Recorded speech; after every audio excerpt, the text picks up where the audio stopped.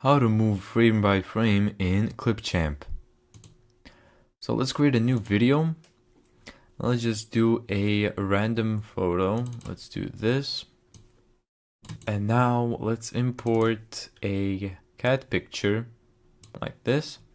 And let's say you want this cat picture to get from the bottom of the screen, where it's basically invisible, to the middle of the screen.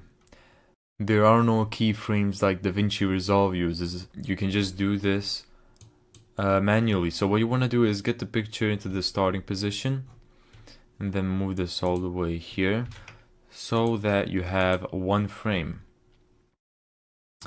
Now, once this is selected, you select the picture here in the timeline. You want to do CTRL C to copy it, and you want to hit Control V.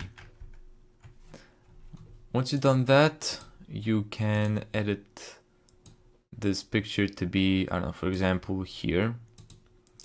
Let's copy, paste, and a bit more.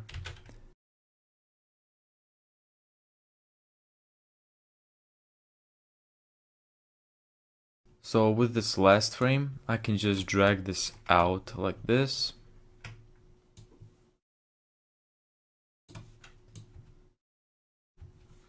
And there you go.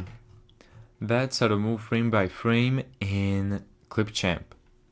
Thank you so much for watching this video. If you found this tutorial helpful, make sure to give it a thumbs up and subscribe. And as always, see you in the next video.